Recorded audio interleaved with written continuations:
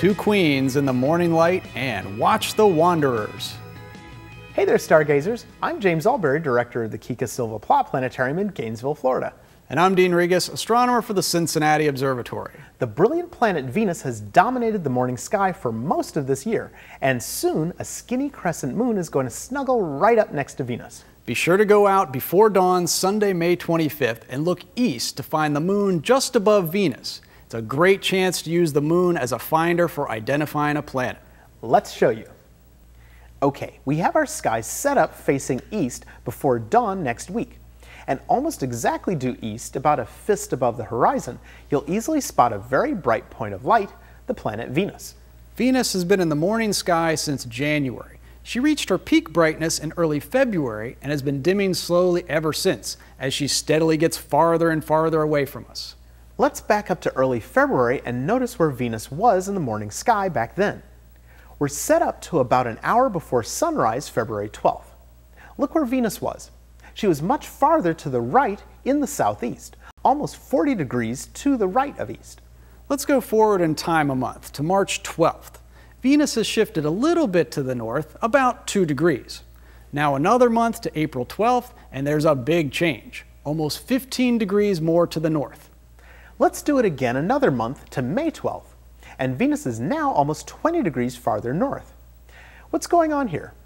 Here's where it was at about an hour before sunrise in February, then in March, then in April, and now in May. And watch how much Venus will move over the next two weeks.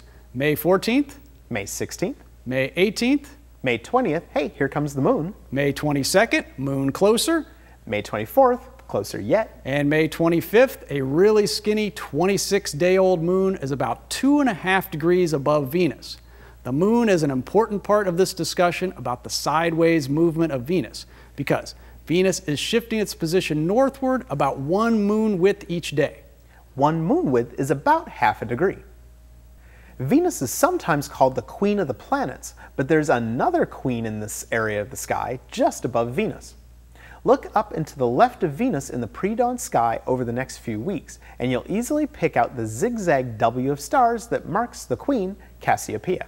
Now, when we say the word Cassiopeia, we can mean several different things. It could refer to these five stars making a kind of W in the sky. Or it could mean the astronomical constellation Cassiopeia, which is a weirdly shaped box in the sky that looks like this.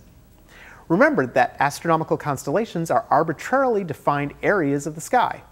They are not all the same size or shape, and they can be really confusing. It's also important to remember that the official constellations that astronomers use were developed for mapping the sky and were not defined until 1930. Or the word Cassiopeia could refer to the mythological figure of a queen of ancient Ethiopia. At least that's how the Greeks saw this section of the sky.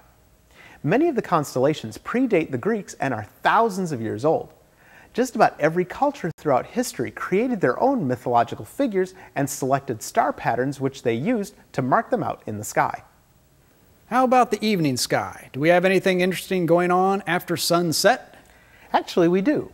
In the evening sky, Jupiter will show you how it moves over the next few weeks. We have our skies set up facing west just after it starts to get dark. Jupiter is the brightest light out there, with the bright Gemini twins, Castor and Pollux above it.